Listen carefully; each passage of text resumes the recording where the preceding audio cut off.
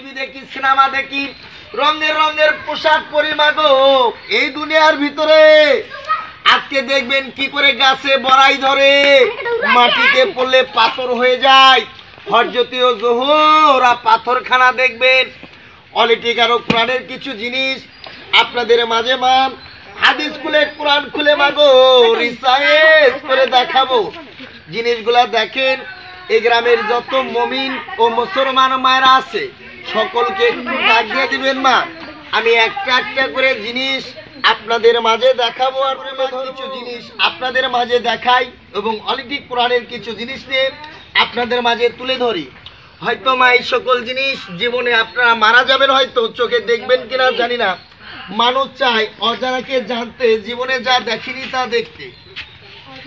আমি সর্বপ্রথম আপনাদের মাঝে যে জিনিসখানা দেখাবো, জিনিসখানা দেখার সঙ্গে সঙ্গে একবার জোরে সোরে সকলে বলবেন সুবাহান আল্লাহ মা, আমি সর্বপ্রথম যে জিনিসখানা আপনাদের মাঝে দেখাবো, এটা হলো সৌদি আরবের ছোট্ট একটি কোরআন। হয়তো জীবনে আগে পূর্বে এই কোরআনখানা দেখেছেন কিনা জানি না আজকে দেখার সঙ্গে সঙ্গে বলবেন আলহামদুলিল্লাহ।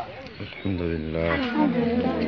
তোমার সুবাহান আল্লাহ আলহামদুলিল্লাহ বলাটা পাপ হয়েছে না পুণ্য হয়েছে পুণ্য হইতে কি মা কোনো টাকা লাগছে? কোনো টাকা পয়সার প্রয়োজন হয় নাই। তো লক্ষ্য করে দেখেন ছোট ছোট অক্ষর অক্ষরের উপর অক্ষরগুলা মেশিনের দ্বারা ফিট করানো আছে। পাওয়ারি গ্লাস ধরলে টসটসা বড় বড় অক্ষর করে দেখা যায় এবং পড়া যায়। কোরআনে মহান আল্লাহ পাক কি বললেন, কি লিখলেন, এবার এটাও দেখেন। কোরআনে সর্বপ্রথম মহান আল্লাহ পাক আপনাদেরকে কি বাণী শোনাচ্ছে এটাও দেখেন। কোরআনটা পড়ার জন্য দিছে না ঘরে থোয়ার জন্য দিছে? অথচ লক্ষ্য করে দেখেন, আমরা একবারও ফজর অনেকে কোরআন তেলাবত করি না।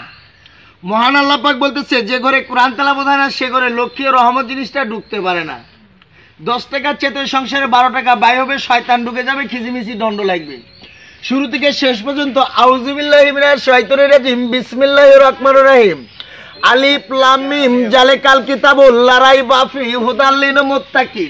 মহান আল্লাহ পাক বলতেছো মুমিনগণ, তোমরা শুনো। আগে মানুষে মানুষকে ভালোবাসো, তাহলে আমি আল্লাহ তোমাদেরকে ভালোবাসা পাবো। আগে কাকে ভালোবাসতে হবে, মা? আগে মানুষকে ভালোবাসতে হবে। মানুষে মানুষকে ভালোবাসলে আমরা ওই মানুষের ভালোবাসা পাবো।